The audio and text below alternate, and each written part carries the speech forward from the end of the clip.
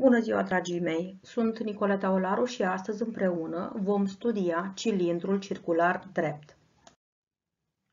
În viața cotidiană, în natură, în tehnică, întâlnim obiecte care au formă de cilindru, cum sunt așa cele exemplificate în figură. Iată, niște baterii tubulare, tot o baterie tubulară, dar sub o altă formă, anumite recipiente, iar exemplele pot continua. Vă las pe voi să găsiți și alte asemănări cu cilindru circular drept.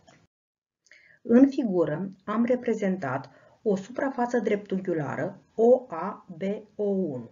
Dacă această suprafață se rotește în jurul dreptei OO1, se obține un cilindru circular drept. Spunem că cilindrul circular drept este un corp de rotație. Urmând să punem împreună în evidență elementele acestuia.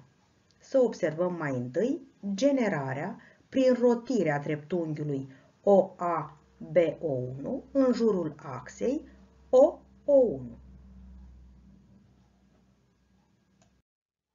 De asemenea, tot un cilindru circular drept obținem dacă rotim dreptunghiul FBCE în jurul axei sale de simetrie AD.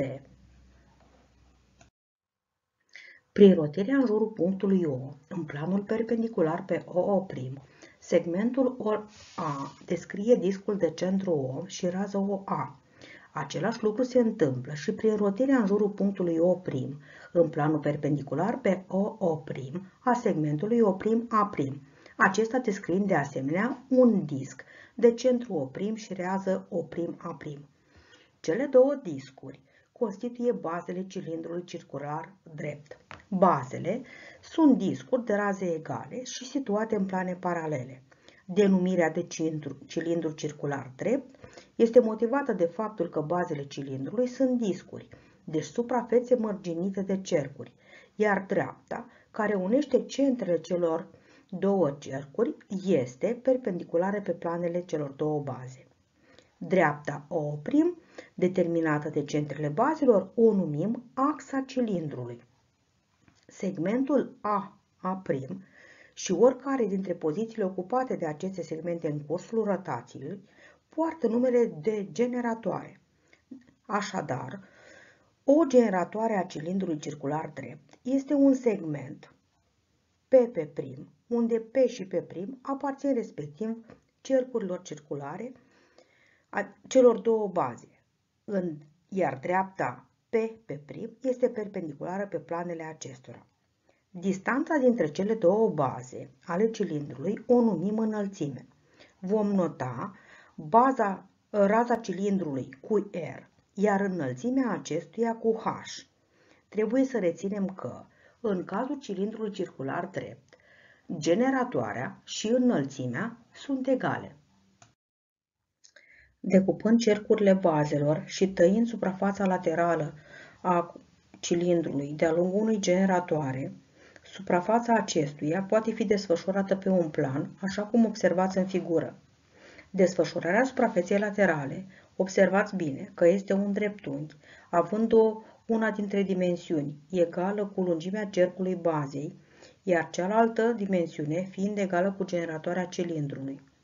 Astfel, putem spune că aria laterală a acestuia este egală cu lungimea ori lățimea, adică 2 pi.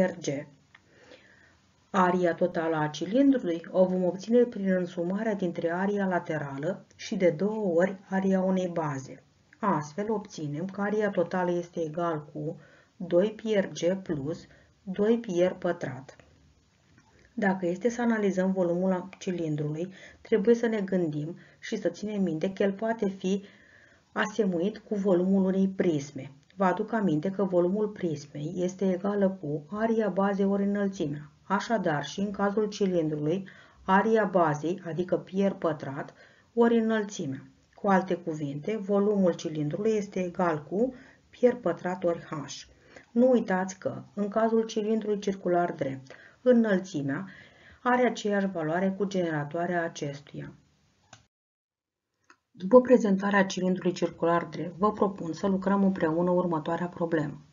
O cutie de suc are forma unui cilindru circular drept, așa cum vedeți în figură, cu raza bazei 4 cm, iar înălțimea 15 cm.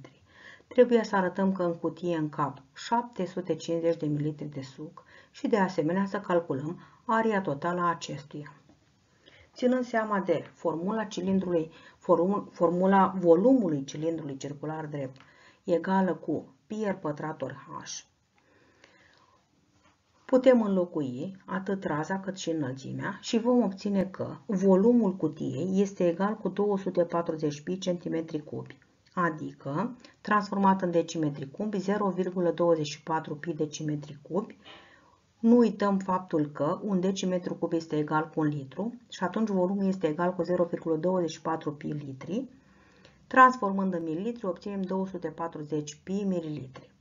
Aproximând valoarea lui pi cu 3,14, obținem că volumul acestei cutii este egal cu 753 ml, care, evident, este mai mare decât 750, ceea ce înseamnă că, într-adevăr, în cutie încap cei 750 de ml de suc. Pentru a determina aria totală, facem, ne readucem aminte formula ariei totale cilindrului, care este egală cu suma dintre area laterală și de două ori area bazei, adică area totală egal cu 2 pi RC plus 2 pi R pătrat. Așadar, prin înlocuirea lui R și G, obținem că area totală a cutiei este egală cu 152 pi centimetri pătrați. Cu speranța că ați înțeles tot ceea ce am expus, vă doresc mult succes!